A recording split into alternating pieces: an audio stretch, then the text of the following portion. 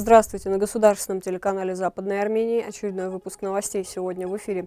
Президент Национального совета Западной Армении Арменак Абрамян выразил соболезнования в связи с кончиной Герагоса Сарыки. По итогам выборов в новый армянский парламент проходят три политические партии. В Ереване открылся третий глобальный форум против преступления геноцида.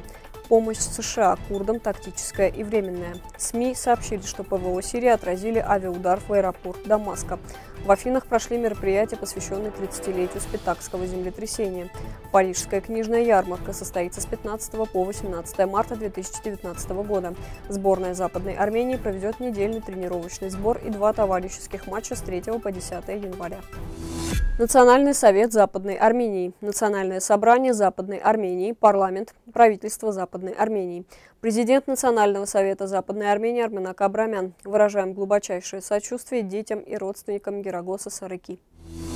Центральная избирательная комиссия на заседании 10 декабря обобщила предварительные итоги состоявшихся накануне внеочередных парламентских выборов. По итогам заседания Центральной избирательной комиссии подписан протокол. Представляя итоги голосования, председатель ЦИК Тигран Мукучан подчеркнул, что их итоги обобщены на основании данных, полученных со всех избирательных участков.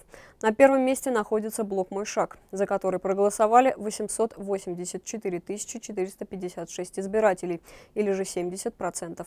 Республиканская партия Армении получила 59 тысяч голосов избирателей или 4,7%. Социал-демократическая партия Гражданское решение 8 530 избирателей или же 0,68%. Партия АРФД 48 811 избирателей или же 3,89%. Партии «Светлая Армения» отдали голоса 80 тысяч 24 избирателя или 6,37%.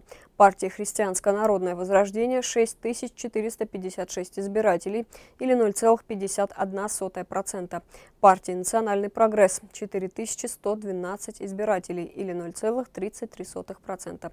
Блок «Мы» получил 25 174 голоса избирателей или 2%. Партия «Оринат Еркирь» 12 389 голосов или 0,99%. Партия «Сосна ЦРР» 22 862 голоса или 1,82%. И партия «Процветающая Армения» 103 824 голоса или 8%. Тем самым в парламент нового созыва проходят три политические силы. Блок «Мой шаг», партии «Процветающая Армения» и «Светлая Армения». Окончательные итоги выборов будут представлены в течение недели.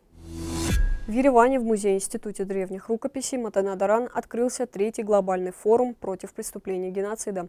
Как передает Армен Пресс, на открытии форума выступил исполняющий обязанности министра иностранных дел Зограб Нацаканян. В своей речи он отметил, что геноцид как преступление не исчез из повестки международных обсуждений. Риски пока имеются. По его словам, мы живем в меняющемся мире, где растет популизм, радикализм, нетерпимость и права человека отодвигаются на второе место, что очень опасно. Сегодняшний форум Форум должен способствовать решению подобных проблем. Мы с нетерпением ждем таких идей, мыслей, решений, которые обогатят наш арсенал в рамках этой борьбы, отметил он. Анкара просит Вашингтон вывести свои позиции наблюдателей из Сирии, в то время как специальный представитель США по проблеме Сирии Джеймс Джеффри пытается убедить турецкие власти в том, что их присутствие выгодно всем. Джеффри находится в Анкаре для участия в третьем заседании американо-турецкой рабочей группы по Сирии, в ходе которого два союзника решили ускорить реализацию дорожной карты региона. Джеффри встретился с министром обороны Турецкой республики Хулуси Агаром, а также с сотрудниками спецслужб Турции. 24 ноября министр обороны Турции подверг резкой критике развертывания наблюдательной миссии Ефрата курдским повстанцам народных сил самообороны, выступая перед журналистами. Джеффри указал на сближение США и Турции, что поддержка курдами США носит тактический и временный характер. Он также утверждает, что политика, проводимая Манбиджи с турками, может принести мир всей Сирии. Что же касается создания наблюдательного пункта на востоке Ефрата, то он направлен на обеспечение безопасности региона. Журналисты, близкие к партии справедливости и развития, сообщили, что Хулцуй Агар потребовал от американского дипломата незамедлительно прекратить программы с курдами. Кроме того, группа студентов-националистов собралась перед Министерством иностранных дел страны, чтобы выразить протест против помощи США курдским повстанцам, действующим на севере Сирии, а также против визита Джеймса Джеффри в Турцию. Средства противовоздушной обороны Сирии отразили авиаудар вблизи международного аэропорта Дамаска, сообщает в воскресенье телеканал Аль-Майадин. По словам телеканала, сирийские ПВО поразили вражеские воздушные цели в районе аэропорта к югу от столицы. 7 декабря в 19 часов в мемориале геноцида армян в Афинах афинские армяне почтили память тысячи жертв землетрясения и погибших спасателей по случаю 30-летия Спитакского землетрясения. Мероприятие было организовано Союзом «Эра» при поддержке Общественного культурного центра «Армения», в котором приняли участие чрезвычайный и полномочный посол Республики Армения, заместитель главы армянской епархии Греции, верховный лидер католической общины социал-демократ Гончакян, либеральная партия Рамкавар, Армянское народное движение, Армянский всеобщий благотворительный союз и представители греко-армянских образовательных и общественных объединений, представители Российского союза «Эмигрант», в ходе мероприятия состоялась также торжественная церемония поминовения. Затем армянские дети выступили с прекрасными номерами, а Союз эмигрантов с песнями. Напомним, что в трудные дни 1988 года недалеко от Еревана потерпел крушение югославский самолет. Все семь членов экипажа погибли. Также в эти дни разбился Ил-76, в результате чего его экипаж из 9 человек и 68 спасателей также погибли.